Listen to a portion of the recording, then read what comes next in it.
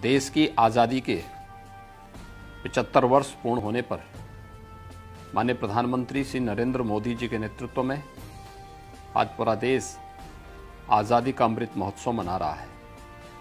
हमारी आन, मान और शान का प्रतीक भारत का राष्ट्रध्वज तिरंगा, देश के शौर्य, शांति और बलिदान का प्रतीक भी है।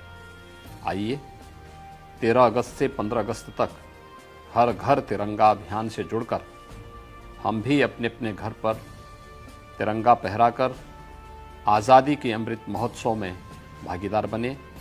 सामान्य प्रधानमंत्री जी के एक भारत, श्रेष्ठ भारत के संकल्प से जुड़े।